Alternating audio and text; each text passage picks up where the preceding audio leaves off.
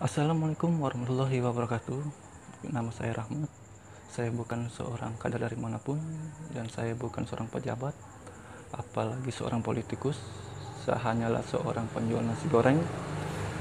Tujuan saya membuat video ini adalah saya ingin meminta dan memohon kepada pemimpin ataupun siapa pun nanti yang menjadi pemimpin negeri ini dan siapa pun yang akan menjadi wakil rakyat di negeri ini saya meminta dan memohon agar apa namanya beda syariah tetap didukung untuk berjalan di negeri ini. Karena perda syariah sangatlah penting. Kalau mungkin kalau namanya kemiskinan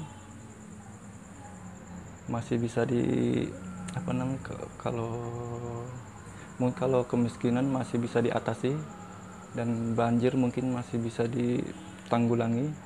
Tapi kalau perda syariah kepada siapa lagi kepada siapa lagi kami rakyat kecil memohon dan meminta kalau bukan kepada pemimpin negeri ini ataupun kepada wakil rakyat yang ada di negeri ini. Jadi saya mohon sekali lagi kepada pemimpin negeri ini ataupun wakil rakyat di negeri ini semoga selalu mendukung perda syariah yang ada di Indonesia ini.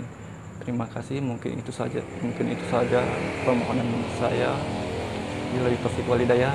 Assalamualaikum warahmatullahi wabarakatuh.